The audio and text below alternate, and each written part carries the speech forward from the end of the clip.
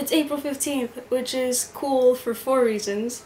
Uh, reason number one, the Heligoats just put out a new album called Back to the Lake, and it's really good, and you guys should go listen to it. It's out on Spotify, or you can buy it on Bandcamp. Or really, the best way to get your hands on it is to get a physical copy um, from one of their shows. They're doing a they're doing an East Coast spring tour right now. Uh, so if you are on the East Coast, chances are that they are playing a show near you, and you should go because it'll be a good time. And um, yeah, it'll make me very jealous. Um, but for those of us who can't make it to one of their shows, they're doing a concert window on Monday, April the 18th. Um, and yeah, those are always really fun because it's like it's like we're at a show, except it's online and we can all chat with each other and talk to the band and listen to some good music and it's a fun time. Uh, so yeah, I'll, I'll leave links to everything in the description. Uh, reason number two that April 15th is a cool day is because we are halfway through VEDA.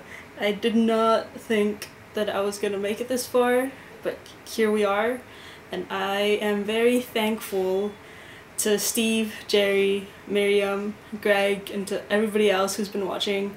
You guys are the coolest. Um, I am not worthy of your support or nice words.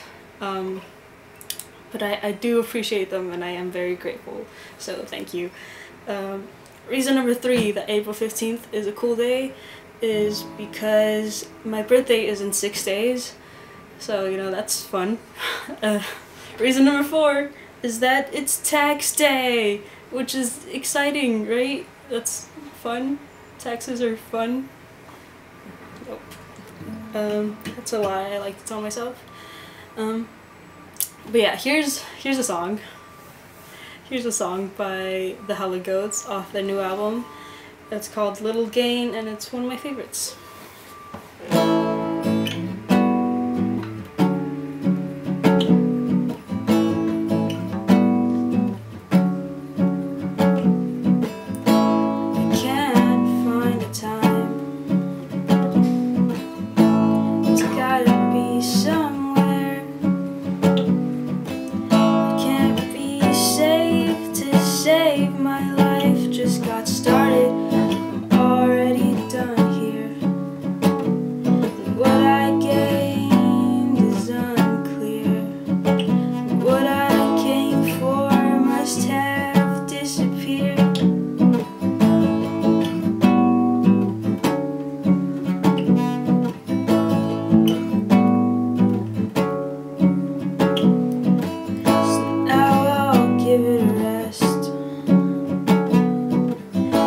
forgiven.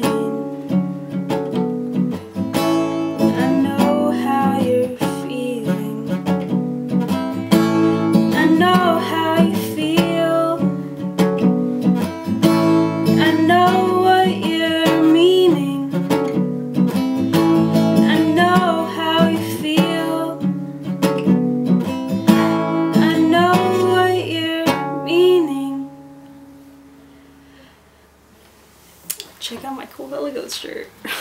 Bye guys.